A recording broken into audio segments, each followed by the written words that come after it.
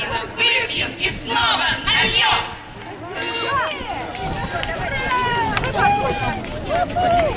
Очень красивая песня.